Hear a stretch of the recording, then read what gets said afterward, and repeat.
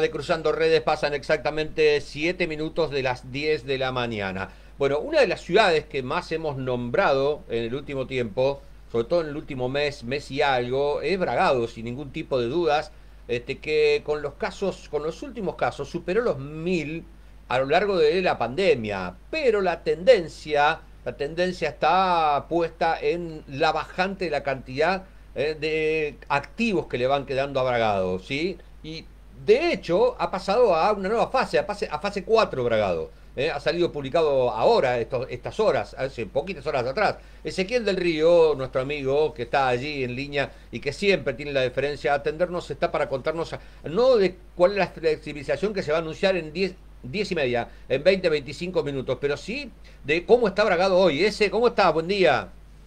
Hola, Dani, ¿cómo te va? Buen día para vos y toda la gente de, de Sí, como vos decías, desde ayer la provincia ha emitido un decreto oficial, la provincia de Buenos Aires, donde, bueno, cada lunes a la mañana se sabe cuáles son los municipios que están encuadrados en el rango de fases, ¿no? Eh, bueno, también nosotros nos sorprendimos ayer porque ha catalogado a Bragado dentro de la fase 4 de aislamiento.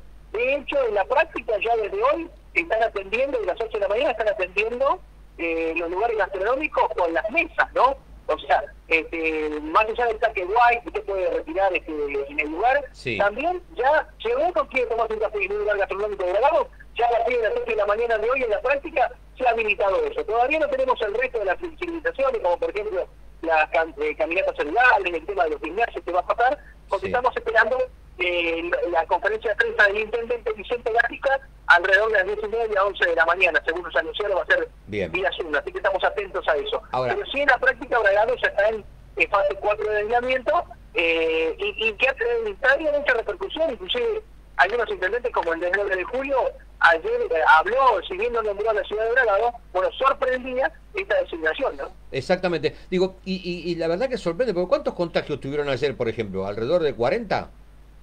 Exactamente. Lo que pasa es que son contagios que, se están este, informando ahora en el parte oficial, pero corresponden a insopados hecho, que se han hecho hace más de 10 días. Por eso que en la mayoría de los casos que se están informando como activos, ayer por ejemplo tuvimos, creo que, bueno, no lo tengo aquí a mano, pero alrededor de 40 y pico.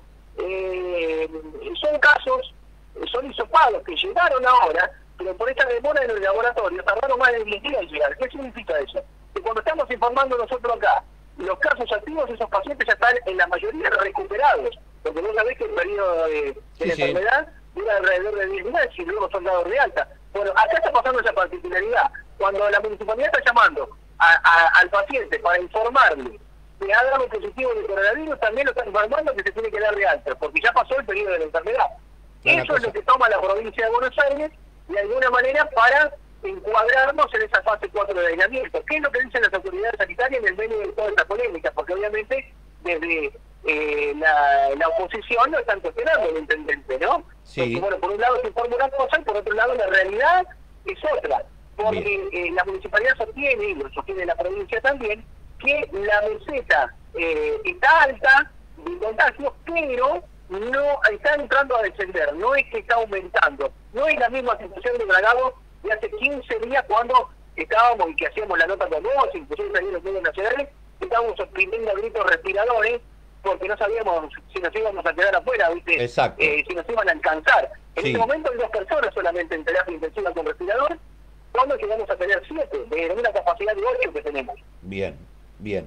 Bien, sí, sí, hubo derivaciones inclusive y demás, ¿no? Este, en su momento. Claro, sí, sí, sí. Bueno, en, el tema de las derivaciones ya los pacientes Lo que sí tenemos encargado muy alta es la, el, tema de, la, de las fallecidas, ¿no? Eh, hemos contabilizado 55. Eh, ayer, por ejemplo, se informaron tres fallecidos más, pero en lo que se informa es que ha llegado el hisopado positivo de, de post-mortem. O sea, la persona ha dado positivo ahora, ha llegado el, el, resultado de su hisopado, pero la, persona ya, ya hace unos días. Eh, lo que se contabiliza, bueno, en este caso son tres fallecidos más de gente que falleció lamentablemente hace un par de días, pero con la sospecha de coronavirus y no con la confirmación, ¿no? Bien, perfecto. Ahora llega la confirmación de eso. Bien. Claro, exactamente, exactamente, post-mortem, en este caso. Por eso que a veces se genera un tipo de confusión, pareciera que son tres fallecidos nuevos. No, no son tres fallecidos nuevos, sino, en este caso, el reporte activo del caso sí, sí, de una persona que falleció hace unos días con los síntomas de coronavirus, ¿no? Pero bueno, en ese momento no se sabía si era un paciente activo o no porque no llegaba el informe del laboratorio. Perfecto. Hay varios casos de estos. Ezequiel, te agradecemos muchísimo este contacto, estás en el aire, sabemos, así que un abrazo grandísimo para vos. Bueno, estaremos atentos a la conferencia de prensa de lo que diga Gatica y te mando un saludo muy especial y cuídate, dale. Muy bien, gracias Daniel, un saludo a toda la gente de la radio de Pemocó. Un saludo, chao, chao, hasta luego. Bueno, nuestro amigo eh, Ezequiel del Río desde Bragado, de Bragado Informa, de su programa de radio en la mañana de Cruzando Redes. Ahora a las diez y media Gatica anuncia flexibilización en Bragado. Eh, a pesar de la situación que tiene Bragado, está en una meseta y en baja. Esto es lo que dicen. Estos resultados que aparecen ahora son de hace 10 días, por eso los actuales, eh, por eso la provincia lo reencuadró en la fase 4 para este, a partir del día de ayer. Y como él decía, ya hoy, por ejemplo, en los bares, los lugares gastronómicos están abiertos desde las 8 de la mañana con las mesas puestas, es incluido para que uno pueda acercarse al lugar. Vamos a ver qué más flexibiliza Bragado a partir de esta situación. Bueno, 13 pasan de las 10, quédate con nosotros.